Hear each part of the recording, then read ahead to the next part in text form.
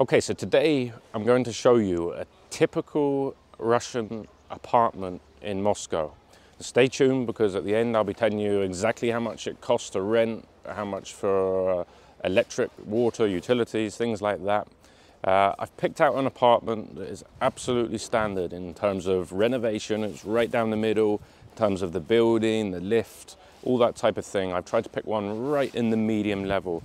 The apartment's probably slightly bigger than an average apartment here, but otherwise everything would be, yeah, what you could expect if you're someone of absolute average income. Um, you can see in the background here, the buildings in the distance. Over there is where the metro is. So again, we're kind of median distance, a 10 minute walk from the metro, the underground subway area. So let's take a look and uh, hopefully you'll find what a typical apartment in Russia looks like, an interesting video. So here's the building we're going to. It's a big building as you see.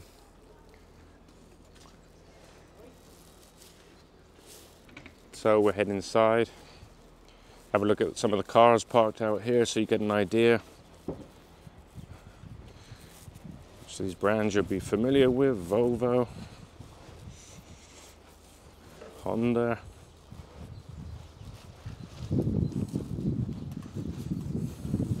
Toyota.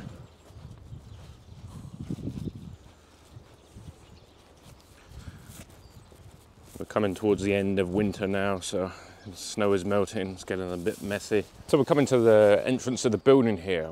What you'll find in Russia is that at the breakup of the USSR, people were given their flats. And therefore, there's not really any good or bad areas. So there's no kind of no-go zones or anything like that. And what you get is people that are on the wealthy end of the spectrum living with people who you would say are on the relatively poor end of the spectrum. All that's different is the renovation inside of the flat is better for the people that have more money. But that accountability of people with different incomes means there's very little crime, there's very little disagreements between people, there's a lot of accountability amongst neighbours. Um, people don't tend to lock their doors on each floor, neighbours share ingredients for food when they need something, all things like that. So a bit more of a kind of older school culture perhaps that our grandparents would have grown up with in England or in America. But uh, yeah, so as I say, you can find old cars here and new cars. It could be someone, your neighbor could be someone who drives a Rolls Royce and you could be someone that drives a very old Lada. It's very common like that. So nearly all doors and entrances have a two-door system. You have the first door where you can ring on the phone for people's apartments to let you in. And a second door acts as like a second barrier for security. And then some of the buildings have concierge 24 hours a day, some don't. It really is a mix. This one does. Let's go in, I'll show you.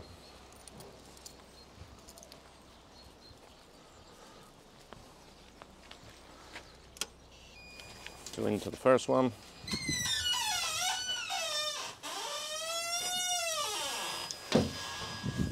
Through the second one. So you see here we have concierge working in this building. You have everybody's letterboxes.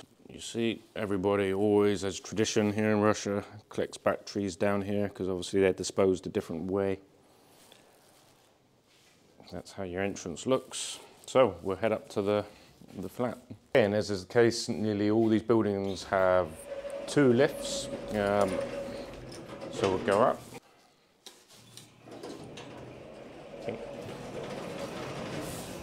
We're going up to the fifth floor. This is, again, absolutely kind of standard mid-range lift. There's lots of buildings that have newer lifts in them now, but some still have the very old ones. But this is quite an old one, but I want to show you something representative of the truth of something absolutely standard in the medium.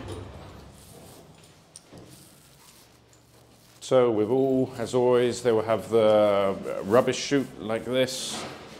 So you can fit small items of rubbish in your chute and obviously it's collected down the bottom and you have the stairwell if the lifts aren't working.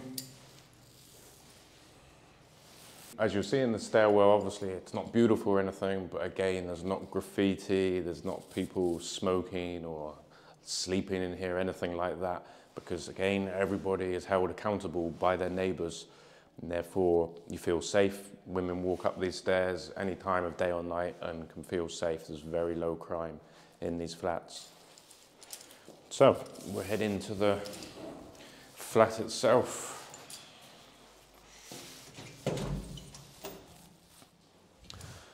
Okay, in the corridor, you see they have a pull-up bar there. There's two flats there.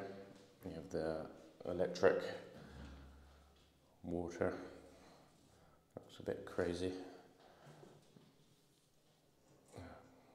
And then two more flats there. And people keep bikes and winter things there.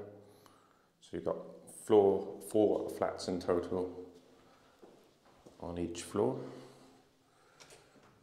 Russia tends to have these pretty big secure doors. So if we go in, you see we've got built-in cupboards here. And so we'll start here, going into the kitchen. So the first door here is like a storage area, pantry, I call it.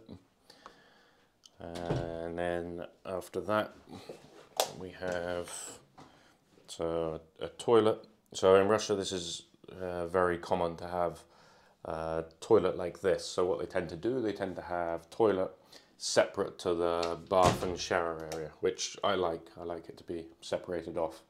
Uh, it's very common here. So then we go here into the kitchen. See here, pretty good space. Like that. So I would say if we take the kind of renovation in this, this is absolutely standard. Of course, you can find lots worse than this, but you can also find lots to a higher, newer specification than this. So what I'm trying to show you here is an absolute kind of standard renovation in Moscow where it's been probably done in the last five to six years with not very expensive materials, but that look you know, fairly modern and okay, and probably perfect if you own a flat and want to rent out to people. So if we continue the tour here, so you see this is where we came in. This was the bathroom door and then the pantry there, and then the door that we came in on. And then we have all these fitted cupboards all the way along here. You can see all the sliding doors. Um, and then have the main living room. So, if we go in and have a look in here. So this is a, what they call three bed flat. What that means is it has two bedrooms, one living area, and then you have the kitchen and bathroom. The size of this is around 95 square meters, so it's suitable for anywhere between, I would say, a family of four, you know, two people up to four, I would say like that, could live here comfortably. But it's a nice spacious room as you see. Um, it's got these nice bay windows like this. In Russia everybody tends to have these net curtains. Obviously you live in flats, although the other flats are quite a long way away, people just like that privacy, so tend to keep it like that. But yeah, very big, nice spacious room. Again, everything very sort of standard here if you look at the furniture. This is, you know, nothing particularly nice, but not bad either. But yeah, I'm trying to show you absolutely kind of what is a standard Russian flat. We can go off into the next room, which is, this is the main bedroom here. So as you see, again, good size really. Yeah, again, has this built-in cupboard area. And you've got windows on the back here. Let's have a look. There's a balcony. Take a look out there. So the balcony is not heated. I think they very rarely are in Russia. Of course, some people transform the balconies, but as here, people using it more like a storage area. That's very common. Um, see out the window here. So that window there would belong to the neighbour. Yeah, there's a road out there, as you see.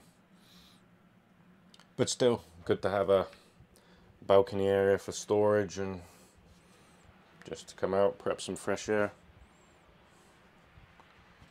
So That's me. Two more rooms. We got so we've got the main bathroom here now. So a washing machine, which is common in Russia, people have here, a bath. Yeah, and area. And as I say, without the toilet, the toilets are almost always separate in Russia. Um, so I'm not sure where you're from. Obviously, I grew up in England, and usually the toilet was always in the um, in with the bath or the shower. So slightly different here, but as I say, I'd prefer it that way. Let me know what it's like where you live and which country you're in. So then we go to the next room. Now, obviously, this has been used. I think. Uh, kind of as a room. I, I, guess they're using it spare room as opposed to a bedroom, but obviously it could quite easily be a bedroom. Um, yeah, but as you see, good size again. Um, yeah, you can see out the window there. Buildings opposite. Still winter here, snow. Yeah. So there it is. Again, you have this floor here not particularly expensive laid, but looks fairly modern. Um, yeah, all looks okay. One thing that is absolute custom here in Russia is when you go into the house from outdoors, you take your shoes off. Nobody walks through the hat house or the flat with shoes on. In England, people do that all the time. I always used to but after living here for a while now, even I find that disgusting to do that. If uh, I go to anyone's house, I immediately take my shoes off, even if they don't when I'm in England or America. But yeah, in Russia, everybody takes their shoes off, and actually, people also immediately, almost immediately, get changed into pajamas or other clothes. Again, it's seen as your outdoor clothes uh, dirty and they're not for the home. So, yeah, it's just a culture here to change your shoes and out of your shoes and change your clothes. Yeah, there's the tour of a, what I would say is a typical flat in Moscow, Russia, uh, at kind of the middle standard level. So let's talk about price, the important part. So this flat is 65,000 rubles per month, including utilities, your water and electric.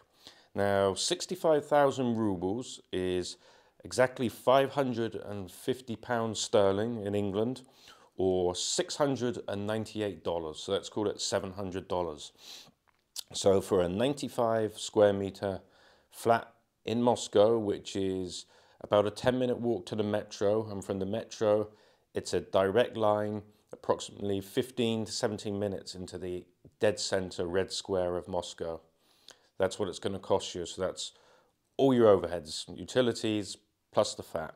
So $700 and 550 pounds sterling. So let me know what you think. What do you think of the value of that, considering where we are?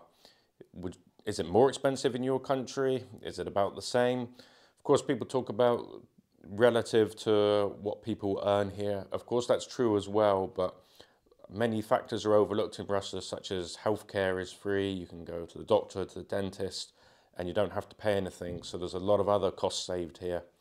But yeah, for a flat, that's how much it costs. If you look at average salaries, I think most people who, if they lived alone, would be able to afford this, but are unlikely to have a flat this big anyway. But certainly, if you've got a household where there's two or more earners, this kind of flat is very affordable. Uh, and I think it's got everything you need. So I hope you guys found that interesting. Let me know what you thought. Did you expect flats to be more expensive or cheaper? Is this how you thought a kind of standard looking flat in Moscow would look? I'd be very interested to hear your comments. Uh, check out all my other videos and I'll be back with another one very soon.